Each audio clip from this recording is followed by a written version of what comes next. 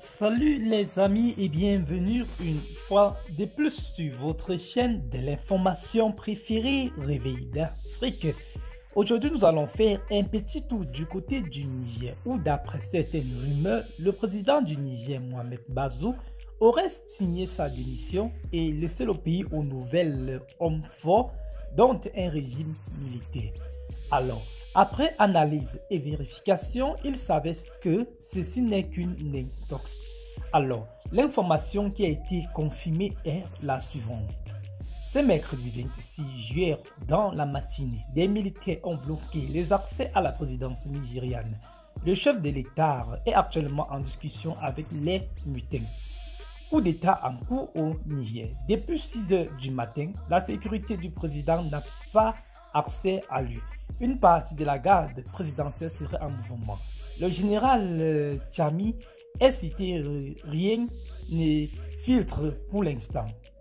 Le tout est circonscrit au niveau de la présidence de la République.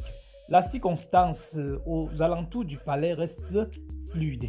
Selon une source militaire régionale, le chef d'État nigérian est actuellement retenu par les mutins. Le nombre demeure inconnu au moment où nous écrivons euh, ces lignes, une autre source proche de la présidence affirme que Mohamed Bazou est sain et sauf et est en train de négocier avec les militaires impliqués. On comprend donc que même si certaines personnes ont affirmé sur les réseaux sociaux que Mohamed Bazou avait déjà signé sa démission, il savait que cela est une fausse information car, d'après nos informateurs, Mohamed Bazoum est en train de négocier avec une partie de la garde présidentielle car l'armée républicaine et autres ne sont pas impliqués. Il s'agit juste, d'une partie de la garde présidentielle. Eh bien les amis, c'est ici que prend fin ce tout petit bulletin d'information.